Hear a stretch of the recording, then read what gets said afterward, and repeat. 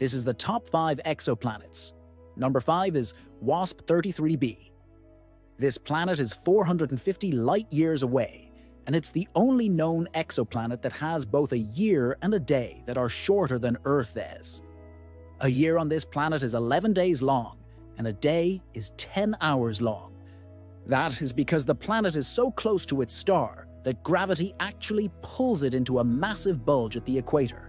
Number 4 is Kepler 62f. It's 1200 light years away, and it's the only known exoplanet that has oceans, lakes, and rivers, just like Earth. The planet is slightly bigger than Earth, and it receives one third of the sunlight that we do. So it's not too hot and not too cold, just right for liquid water to exist.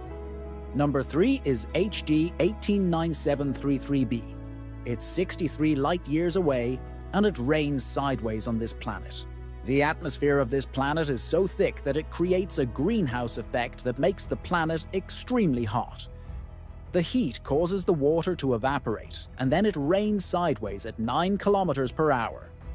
Number 2 is Kepler 442b. It's 1200 light years away, and it's the only known exoplanet that has a magnetic field just like Earth.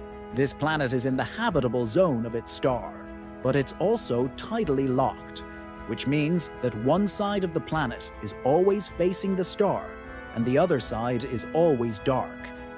Number 1 is Proxima Centauri b.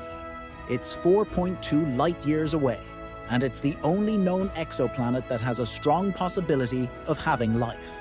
This planet is in the habitable zone of its star, and it is the right size for life to evolve. But the most exciting part is that it has a magnetic field and an atmosphere. And it's possible that the atmosphere has oxygen in it. Now stay tuned for more videos of space in a minute.